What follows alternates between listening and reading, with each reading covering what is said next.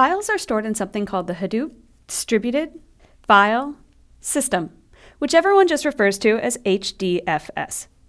As a developer, this looks very much like a regular file system, the kind you're used to working with on a standard machine. But it's helpful to understand what's going on behind the scenes. So that's what we're going to talk about here.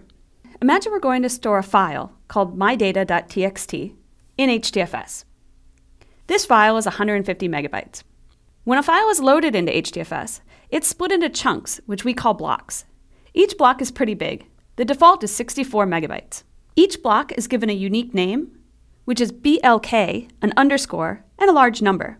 We'll call ours block 1, 2, and 3.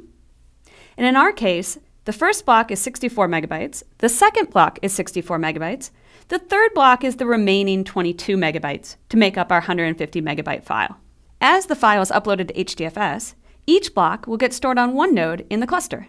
There's a daemon or piece of software running on each of the machines in the cluster called the data node. Now, clearly, we need to know which blocks make up the original file, and that's handled by a separate machine running a daemon called the name node. The information stored on the name node is known as the metadata. That's fine as far as it goes, but there are some problems with this. Take a look at the diagram and see if you can spot where we might run into trouble. For example, let's say there was a network failure between the nodes, or a disk failure on a data node.